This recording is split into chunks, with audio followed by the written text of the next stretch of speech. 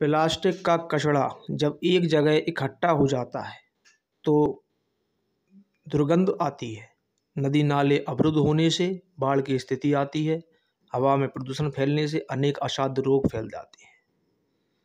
Plastic कचड़ा खाने से गाय आदि पशुओं की अकाल मौत हो रही है। इस तरह से प्लास्टिक थैली से प्रदूषण फैल रहा है। पर्यावरण में हानि, पर्यावरण को हानि हो रही है।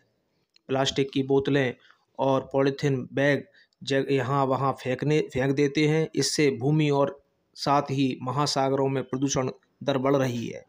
विकासशील देश और अविकसित देशों में इसलिए इसकी वजह से प्रदूषण दर, प्रदूषण बढ़ रहा है। इसलिए मेरा आप सभी से निवेदन है कि प्लास्टिक का इस्तेमाल बंद करें और अपने पर्यावरण को स्वच्छ बनाएँ।